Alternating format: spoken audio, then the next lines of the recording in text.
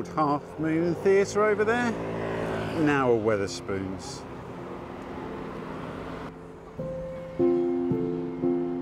So our adventure today actually starts by turning off the Mile End Road into White Horse Lane.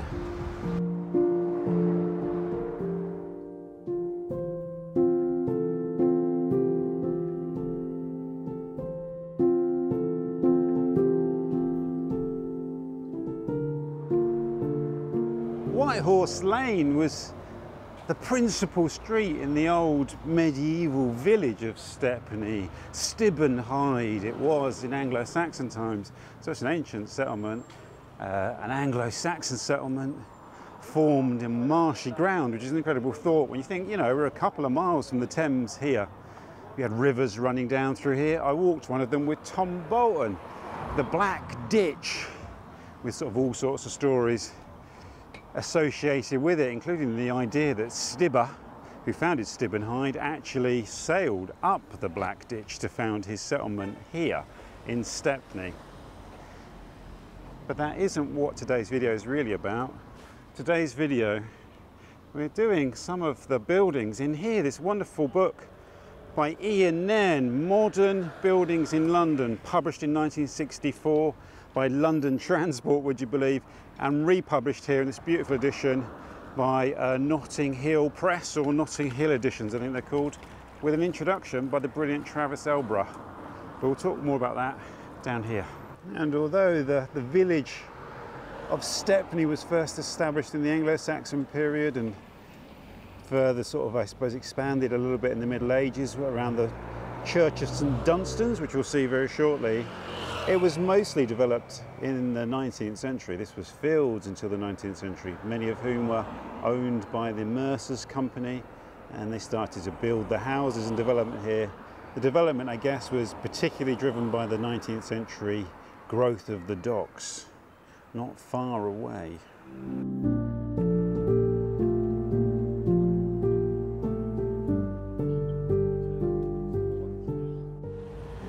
Maybe it's because it's a sunny day, but you know, you can still see Stepney retains a little bit of that kind of villagey feel to it, doesn't it?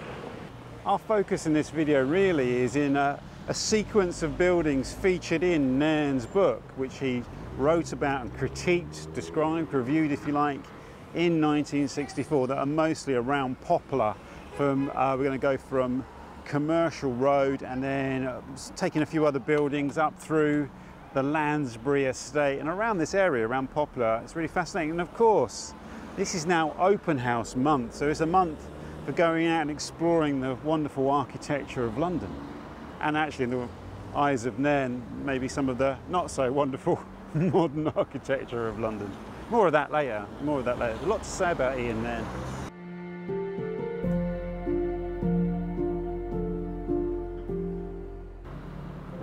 Must pass through the grounds of St Dunstan's Church, once the heart of medieval Stepney, a real nodal point in the East End of London. St Dunstan's is known as the mother church of the East End. It is an amazing structure. I think it's also, I'm going to go off script a little bit, I think it's also known as the Seamen's Church. I will verify that before I go on much more. But it was established, there was a wooden church here, dating back to I don't know when, but in nine, around 952, when Dunstan, Bishop of London, before he had been canonised, beatified, canonised, I've talked about that before, I don't know what's the difference between the two. But anyway, before Dunstan had been sainted, he, he owned this manor here and he decided to build a proper stone church on the site of the old wooden church, the old Saxon wooden church.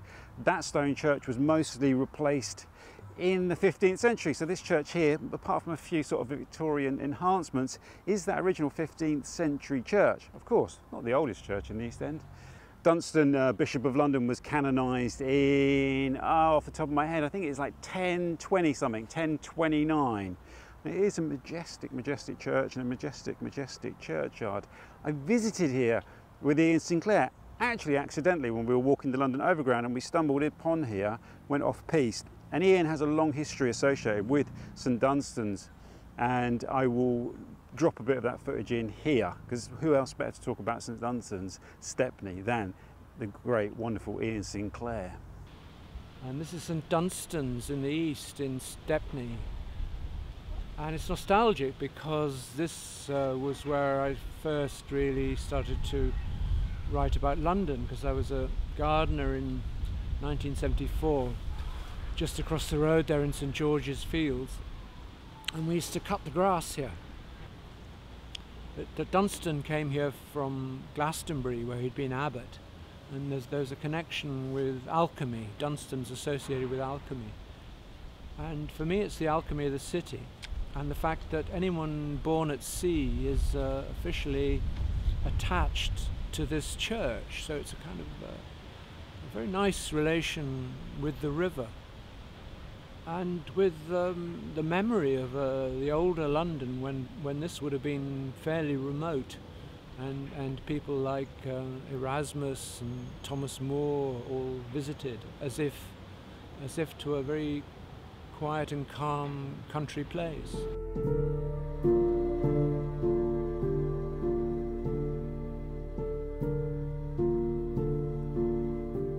Not only, not only was it a massive treat actually go inside St Dunstan's, I was actually shown around by a lovely lady eh, attached, well, you know, a volunteer at the church who showed me around, was happy for me to shoot some video, told me about the history of the church and how actually most of it is the original stone medieval church built by Dunstan in 952, the central portion of the church. And she showed me where the exterior wall would have once been, the little peek through that you could peek through into the church to see when the mass had started from the outside.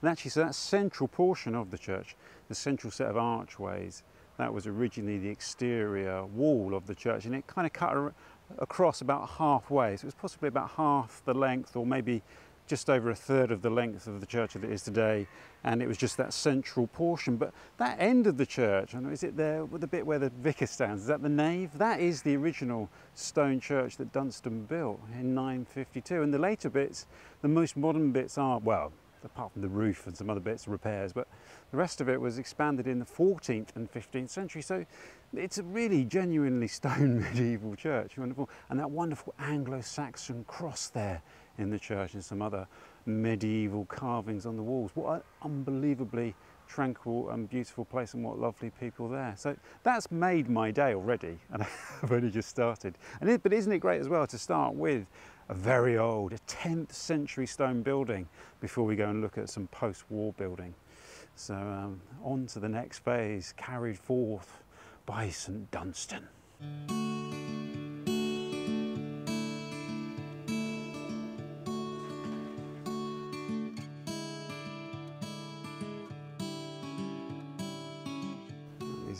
Fine, I'd say the Victorian houses, aren't they? Fine Victorian terrace here. And this is Matlock Street.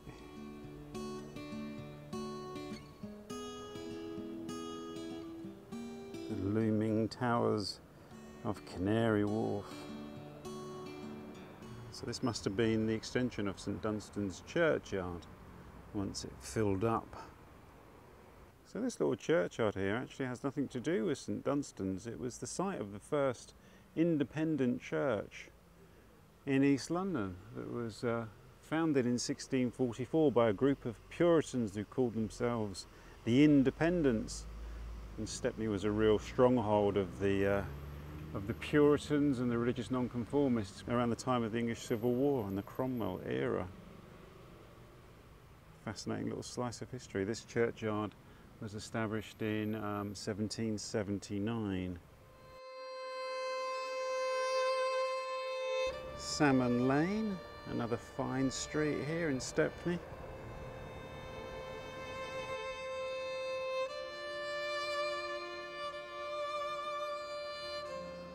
So we'll actually turn into Salmon Lane and then we can turn off here down towards Commercial Road and our first Ian Nairn location.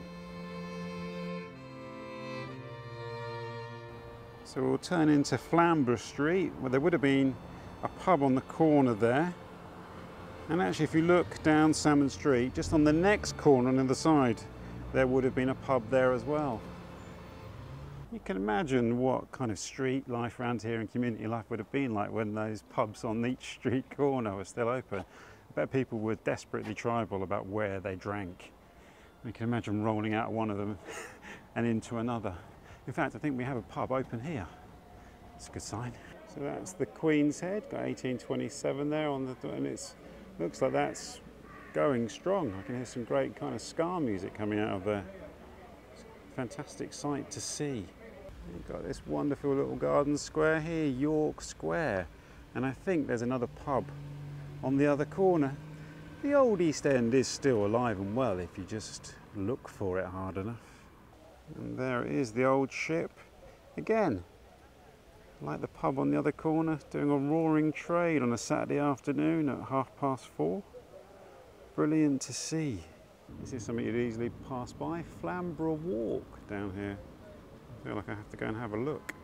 That is a little oasis back there. I didn't film because there's just like people sat outside their houses there, but some beautiful big houses down there. Also some little cottages. Got lovely little gardens there with vines growing. What a, what a walk of discoveries this has been. Look at all this here. We emerge from the peace and calm onto the commercial road built to link the old well to link the old docks and the new docks together carry all the road traffic which would have been obviously horse and cart in those days and the people in this what would have been a massively busy bustling area we're looking for our Nairn location which is a church so at 649 commercial road we have the Danish Seamen's Church. Now it's the Husk Community Centre, but from Nairn's description, this would appear to be the original building here. He says the thing that shines through is the humility and the professionalism, and that the building is as friendly as Denmark is itself. He really likes the building, and he says the V shaped roof isn't just a gimmick, but to shine light upon the gallery. You can tell that he really liked this building. I think of all the buildings that he surveyed in his book, very few of them were by uh, non-British architects. This was one of the exceptions. So Ian Nairn, author of this book, Modern Buildings in London, with a wonderful new introduction by Travis Elborough. Really, in a lot of ways, Nairn is one of the godfathers of this activity that I do, particularly when I think about my new book, which will be published within a couple of weeks, uh, Welcome to New London.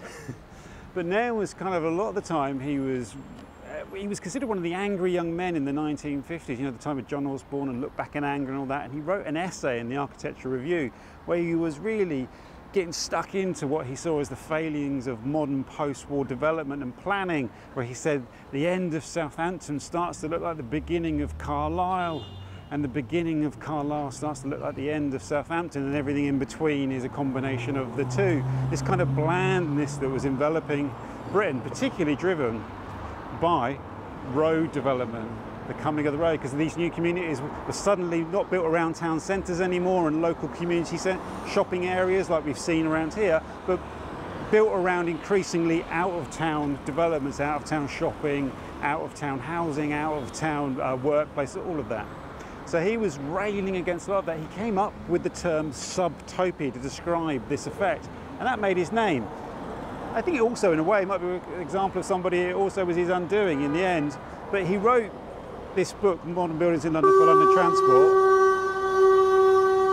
I mean, that was about, that was that's obnoxious, isn't it? And actually, he wasn't overwhelmingly negative, unlike the drivers on the road here beeping their horns. He wasn't overwhelmingly under, negative. He was surprisingly optimistic about the future development of Britain, the future development of London. He saw hope in some modern architecture. And a lot of the stuff in this book, he is sort of pretty positive about. Some of it, he just says it depresses me and I can't write about it. So our next location, it's not that far away, up on Bow Common.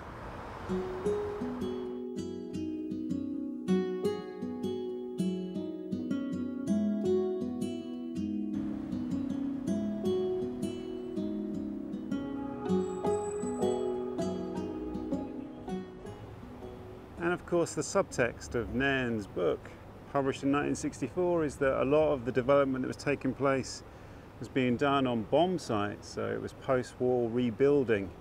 including some of the sites that we'll visit today, and you see lots of it around. Obviously, the docks were a major target.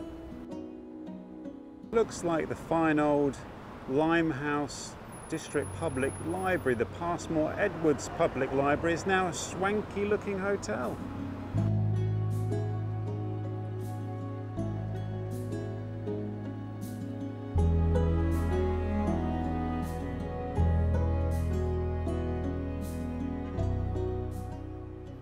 Sailor's Mission here is a very fine building. Of course, it wouldn't have uh, counted as a modern building when Nairn was writing. And we're going to go beside the Sailor's Mission up Salmon Lane and turn into Copenhagen Place. Well, that's the plan anyway.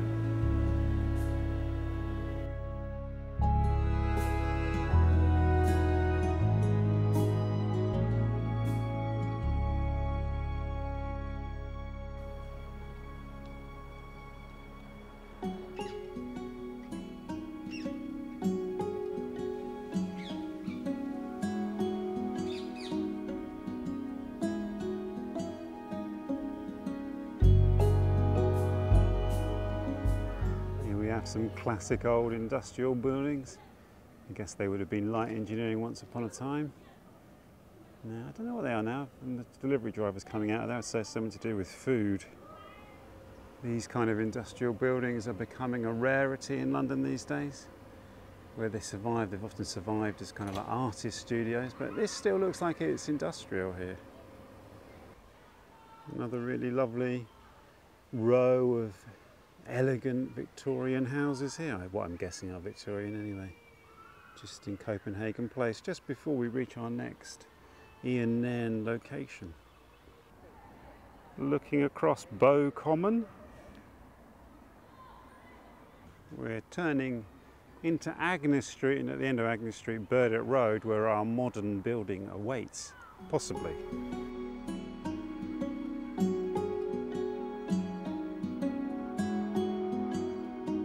And wow, here it is. This is a lot more imposing than I thought it would be. This is St Paul's Church here, which Nairn says is the only modern building by the Church of England in the London transport area that brings any credit upon the church, which he says is quite a damning indictment of the architecture of modern London from an ecclesiastical point of view. He calls it a, a compact, tough-minded cube of bricks in a tough-minded area, top lit there by that glass dome. On the entrance to it, it says, this is the gate of heaven, but the house of God. But the house of God, this is the gate of heaven. I'm not sure on the order. So the first two buildings have been churches, and before that we had a medieval church, but there are no more churches, no more churches planned on this walk. Wow, there's a lot of noise, isn't there? Here's the Limehouse Cut. Our second canal of the day, isn't it? I walked along there recently with a wonderful sound recordist Joel Carr recording a podcast that hopefully you'll get to hear at some point once we've recorded a couple more.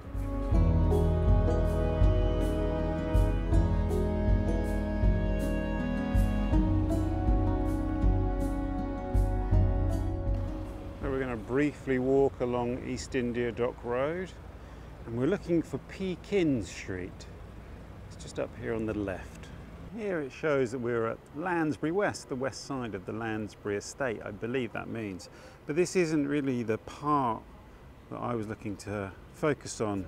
It's mentioned in, it's one of our locations, it's one of Nairn's modern buildings in this part of East London, but it's not really this part that we're looking at. It's a bit, a little bit further north. So we're in Canton Street here, and we're heading to Pekin Street, and it reflects the, uh, the Chinese population that settled here around the time of the docks. Obviously, there was a lot of Chinese people associated with with uh, with sailing and with uh, with seafaring, etc. And a lot of them settled around this part of the East End. Nairn says such wonderful things about Pekin Street. I'm really intrigued to see what's here. One of the things that first stands out though, he says the trees will be lovely when they grow up, or he says the street will be lovely when the trees grow up, and the trees have grown up and they are lovely. So these houses here, these two-storey houses were built in 1951 with a garden, and Nairn says this is what building for real people looks like, not what politicians think people want It's this. This is the model. And there are also some three story blocks of flats here, or maisonettes. He was incredibly enthusiastic about this development here. You can see it's all built around this little square here, which I don't know if it was paved like this at the time it was built. It is actually so quiet here. It's really noticeable.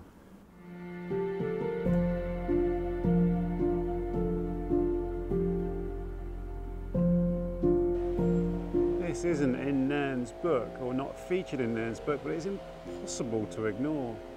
I think this is the church of the Lansbury estate. Could get that completely wrong, but it's a modern looking church, isn't it? Now we pretty much come out of the end of Pekin Street and cross the road into Grundy Street for our next Nairn location. So the building that Nairn writes about is an L-shaped block of old people's homes on the corner of Grundy Street but I don't think this is it because that does not look like it was built in 1951. I might be completely wrong. That looks a lot more modern though, doesn't it? And some of the buildings that Nairn has written about have been demolished. In fact, some of them have been, been demolished twice. It's, it's funny because I'm pretty sure I worked in a film in that building there. I mean, I worked in a film in an old people's home around here and I'm pretty sure it's that one because I remember there was an old fellow who used to escape all the time and run off down this street here.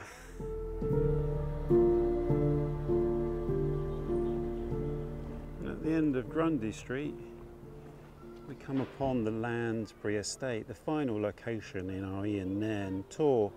And it was built in 1951 as part of the Festival of Britain as an exhibition of living architecture, an example of how post-war Britain could be rebuilt. The Market Square here was the first pedestrianised shopping street in the whole of Britain and it was a template that was copied throughout the land subsequently. It's wonderful to see it still here. It was designed by the brilliant Frederick Gibberd. Who, of course, did Harlow Newtown and a number of other really important modern buildings. You can see here that the, uh, in the name of the pub here, the link to the Festival of Britain lives on.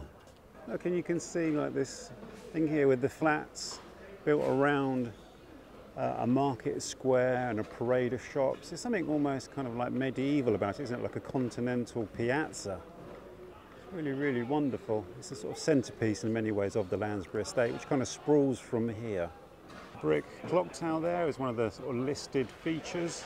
It's in, you know, it's not in the greatest shape now, but it is uh, part of the square which is going to be preserved. They are redeveloping this area, and some of it will be preserved. The clock tower, I think, will be renovated. I don't know what else is being kept.